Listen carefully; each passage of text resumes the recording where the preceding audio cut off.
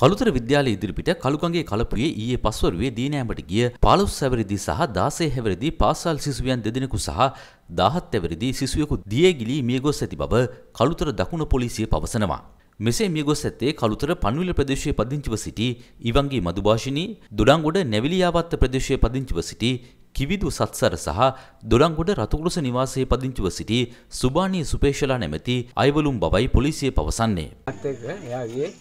මම පෙරදර එයා බලන්න. එයා ගෙදර හිටියද මගේ අක්කා පුතා එක්කන් එන්නා. එයා හිටියෙත් නෑ. ඊට පස්සේ මම කරගන්න දැන්න මම තනියම ගිහිල්ලා වැඩ කරලා ආවා. ඉතින් මාත් එක තමයි ගොඩක් මේව කරේ.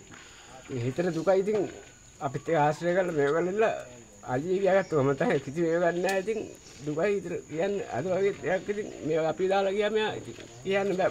එච්චර තමයි. දුක වැඩි. රත්තරන් පුතා මගේ පුතාගේ අම්ම නැති වෙනකොට මගේ පුතාට මාරාදරයි අවුරුද්දයි පුතේ.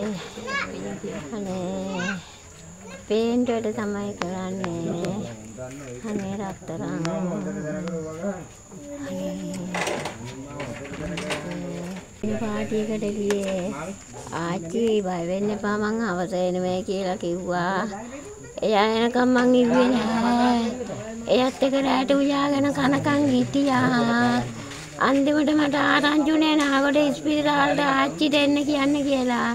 මං ගිහිල්ලා බැලුවේ මගේ රත්තරන් පුතාගේ මල කඳ. අනේ මට එච්චරයි කියන්න පුළුවන්.